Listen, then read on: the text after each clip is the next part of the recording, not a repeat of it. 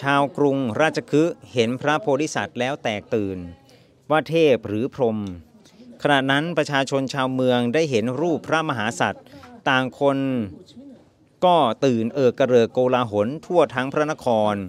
เหมือนครั้งเมื่อพญาช้างธนบาลหัตถีซับมัน อันอารวาสเข้าเมือง มิดังนั้นดุดเวปจิตติ อสุริน อันเข้ามาในเทวนคร อันร้องเรียกกันอื้ออึง ชวนกันเกลื่อนกล่น มาชม โฉมพระมหาบุรุษราช ผู้ใดได้เห็นก็เกิดปีติโสมนัสพิศวงมิวางตา บางคนก็เจรจาแก่กันว่า ท่านผู้นี้ชะรอยเป็นองค์พระจันทร์ ลงมาจากอากาศ ปราตนาราหูอสุรินมาสู่โลกมนุษย์ มาสู่มนุษย์โลกเป็นแม่นมั่น บางคนก็ว่าไม่ใช่พระจันทร์ชะรอยเป็นกุสุมเกตกามเทพบุตร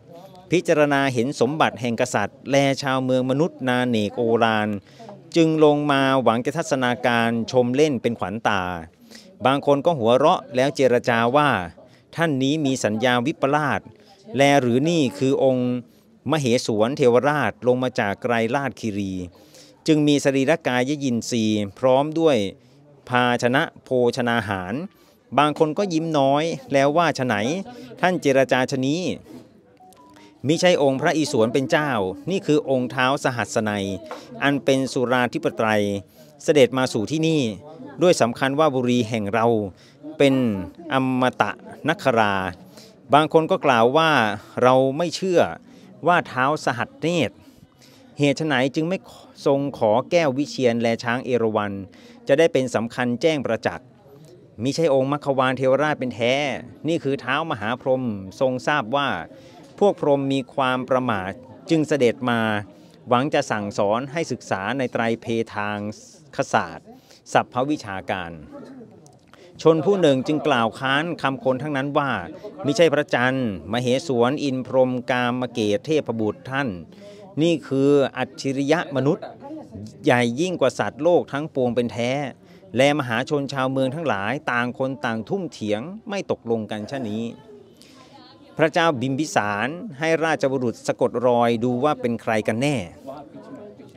พอพวกราชบุรุษมาเห็นองค์พระมหาสัตว์จึงเข้าไปทูลเข้าไปกราบทูลกรุงบิมพิสารราช ว่าบัดนี้มีผู้หนึ่งประกอบด้วยรูปสิริลักษณ์เลิศบุรุษ จะว่าเป็นเทพยดามนุษย์หรือนาค ครุฑสุบรรณคนธรรม ทานบประการใดก็มิได้รู้ เข้ามาสู่พระนครเที่ยวโคจรบินทบาทประหลาดนัก สมเด็จพระบรมกษัตริย์ ได้ทรงทราบจึงเสด็จยืนบนปราสาททอดทัศนาไปโดยช่องสีหบัญชร ทอดพระเนตรเห็นองค์พระมหาบุรุษก็มีพระทัยพิศวง จึงดำรัสใช้ราชบุรุษว่า ท่านจงตามสะกดบทจรไปดูให้รู้ตระหนักแน่ แม้ว่าเป็นอามนุษย์ออกจากเมืองแล้วก็จะอันตรธานหายไป ถ้าเป็นเทพยดาก็จะห่อไปบนอากาศ ผีว่าเป็นพญานาคก็ชำแรกปฐพีไปเป็นแท้ แม้ว่าเป็นมนุษย์ก็จะไปนั่งบริโภคพัตหาร โดยควรประมาณแก่ตนได้ จงไปพิจารณาดูให้รู้เหตุประจักษ์ราชบุรุษทั้งหลาย รับพระบัญชาแล้ว ก็เดินตามพระมหาสัตว์ไปจนออกนอกพระนคร ทรงโอวาตนเองเสวยอาหารบิณฑบาตทที่ไม่ทรงคุ้นเคย ส่วนพระมหาบุรุษมีพระอินทรีย์สำรวมระงับคารุวนาดุดคร่าเอาในเนตรแห่งมหาชนทั้งหลาย ไปด้วยพระรูปสิริโสภาค ทอดพระในยนาไปโดยมักคาชั่วแอกหนึ่ง เมื่อทรงรับบิณฑบาตได้มิกสกพัทพอประมาณควรแก่อิ่มแล้ว ก็เสด็จออกจากพระนครโดยทางทวารอันแรกเข้าไปเข้านั้นจึงไปสู่บรรทวบรรพศเหตุดังนั้น พระคันธารัตนาจารย์จึงกล่าวพระคาถา แปลเนื้อความก็ซ้ำเหมือนเหมือนความหลัง เมื่อเสด็จไปถึงเชิงเขาบรรทวพศบรรทวบรรพศจึงทรงนิสัชนาการบ่ายพระพัก ไปข้างบรรพศอันปรากฏฝ่ายบูรพทิสาภาค มีหน้าภูผาอันร่มสำราญพระการรัชกาย ก็ทรงพิจารณาพัตหารในบาทด้วยปฏิกูลสัญญา ในขณะนั้นก็บังเกิดปฏิกูล ยิ่งนักปานประหนึ่งว่าลำไส้ใหญ่จะกลับออกทางพระโอษฐ์เหตุพระองค์เคยเสวย ปณีตาโภชนาหาร ปานประดุดทิพสุธาโพธมิเคยทรงทัศนาการซึ่งมิสกาหารดังนั้น จึงบังเกิดปฏิกูลเป็นอันมากลำดับนั้นก็ประทานโอวาแก่พระองค์ว่า ดูก่อนสิทธัตถะตัวท่านบังเกิดในขัตยะสุขุมารชาติ ตระกูล อัน